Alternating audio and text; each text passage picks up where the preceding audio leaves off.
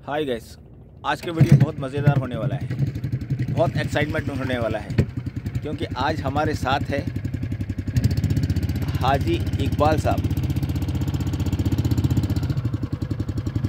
हाजी इकबाल साहब जो 70 plus as के हैं, फिर भी इनके बारे में बताऊँ तो रोज़ सुबह आठ से दस किलोमीटर आज भी ये जॉगिंग करते हैं। और उनके साथ है उनके बेटे भाई शाहिद भाई शाहिद, इधर थोड़ा घूम जाओ। हाजी इकबाल साहब के बेटे हैं भाई शाहिद।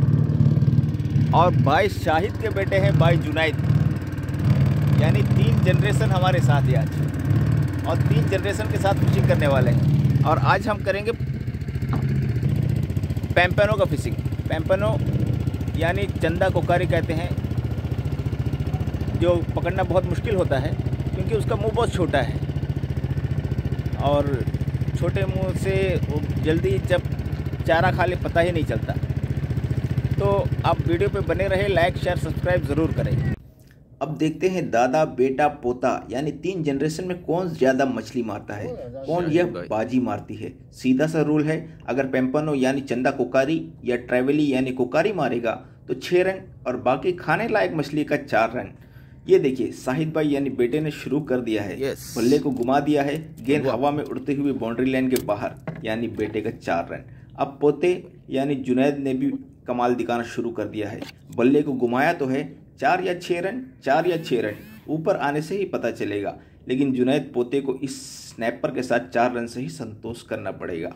यस दादाजी अपने क्लासिकल स्टाइल में है बड़े आराम से लाते हैं टेक्निक के साथ टेक्निक का ज़्यादा इस्तेमाल करते हैं। बल्ले को आहिस्ता से फ्लिक किया है। ओह नो बाउंड्री लाइन के नज़दीक एक फील्डर खड़ा है और आखिरी क्षणों में लपक कर कैच कर लिया है। दादाजी कॉट एंड बॉल्ड। मिस तो फिस। मैं इस कंपटीशन में नहीं हूँ बस आप वीडियो देख सकते हैं। मुकाबला तो तीन जनरेशन के बीच में ही है। इस बीच शाहिद भाई ने एक और चौका मारा है और शाहिद भाई के हुए आठ रन। जुनैद भाई ने भी बल्ला घुमाया है। देखते हैं कितने रन बनते हैं। ओह नो ईल यानी कोई रन नहीं। यस दादाजी ने दूसरी बार बस गेंद को कट किया है और गेंद स्लिप में खड़े फील्डर के ऊपर से जाते हुए सीधा बाउंड्री लाइन की तरफ़ चार रन। इस तरह अब तक का स्कोर दादाजी चार रन पोता चार रन और बेटा आठ रन के साथ सबसे आगे। यस मैंने भी पैम्पनो का शिकार कर लिया है। अगर बिल्कुल अलर्ट रहे तभी पैम्पनो यानी चिंता कुकारी का शिकार किया जा सकता है। वरना इस झु- इसका झुंड हो तो बात अलग है क्योंकि इसका मुँह बहुत छोटा होता है और जल्दी कांटे में नहीं आता। यस जुनेद भाई ने फिर बल्ला घुमाया है। बाल फुल बॉल फुल टॉस थी आँखें बॉल पर गड़ी हुई थी और बल्ले के बीचों बीच बॉल लगी है और इस तरह पोते ने इस छः रन के साथ अपना दस रन पूरा कर लिया है और सबसे आगे है। अब दादाजी भी फॉर्म में नज़र आ रहा है। सिर्फ़ चार रनों के साथ अब तक सबसे पीछे चल रहे हैं।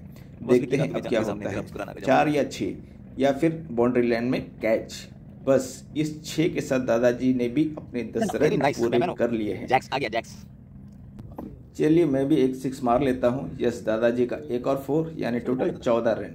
दादाजी अब सबसे लेट में है। देखते हैं सेकंड और थर्ड जनरेशन दादाजी से आगे बढ़ पाते हैं या नहीं। ना ना ना ओल्ड इज़ गोल्ड इनसे मुकाबला करना इन बच्चों का खेल नहीं। इन छः रनों के साथ दादाजी इज़ द चैंपियन आज के विनर दादाजी। वीडियो कैसी लगी? कमेंट्स करके ज़रूर बताएँ। अगर आपको ख़राब लगी हो तब भी बताएँ। कमेंट ज़रूर करें। लाइक शेयर सब्सक्राइब करना ना भूलें। मिलते हैं अगले वीडियो में। जय हिंद।